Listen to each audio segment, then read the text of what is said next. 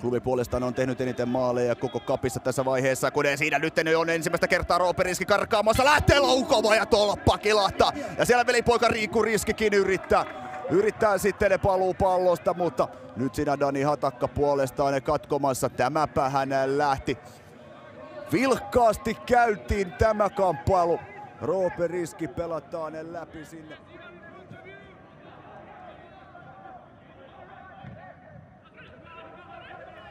Schüller lähtee kokeilemaan, mikä tykki! Ja siellä Roope Riskikin yrittää saksi potkua, oho! Kaksi kertaa on jo maali tolpat, Honga pelastanut ensimmäisen kahdeksan minuutin sisään. Aivan uskomaton laukaus Rasmus Schülleriltä. Ristikossa kopsahtaa.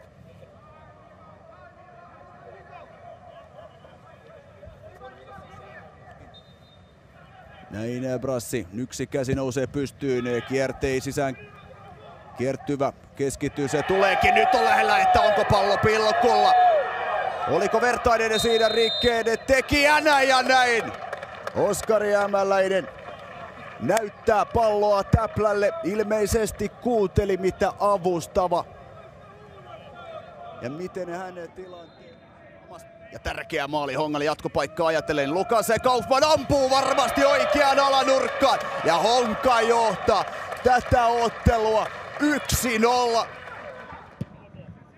Tämä äskeisen rankkarin hän aiheutti, niin voi olla, että Vertainen otetaan pois kentältä ennen kuin hänet ajetaan punaisella. Peli kuitenkin jatkuu Hasani. Keskitys luukulle ja se on vaarallinen. Vieläkin pallo pysyy ja nyt se löytyy sitten Ongan verkosta. Ferrada Sani tykittää vasta palloa vastustamattomasti eikä uusi talo.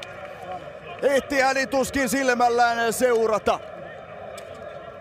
Klubilta nopea nopea vastaus ja peli tasoihin ja Riku Riskikö siellä sitten on tämän maalin syöttäjänä. Jos näin on, niin siinä vaiheessa on Riku Riskin, onko toinen vai jopa kolmas tarjoulu. Kyllä se Riku Riski vähemmän yllättäen, joka tämän pallon jatkaa keskustaan ja pohjois iske kapine toisen osumansa.